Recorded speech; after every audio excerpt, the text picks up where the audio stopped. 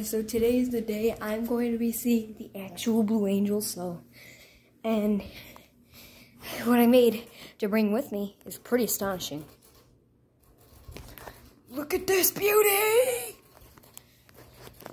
It literally looks exactly like one of them. Look, it's even got thrust coming out of the engines. This will pop up.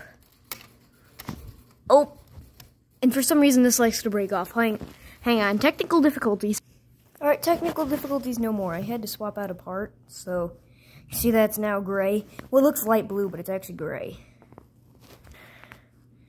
You see how that little piece right here looks like a light blue? Yeah, that piece, it's actually gray. And it sticks to the other piece beneath it way better. I had technical difficulties where the thing kept falling off. Yeah, just completely ignore me. Alright then.